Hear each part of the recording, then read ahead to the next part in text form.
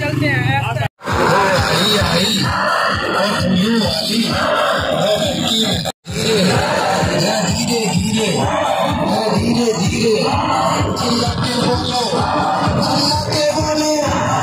खरफशार से महफूज फरमा।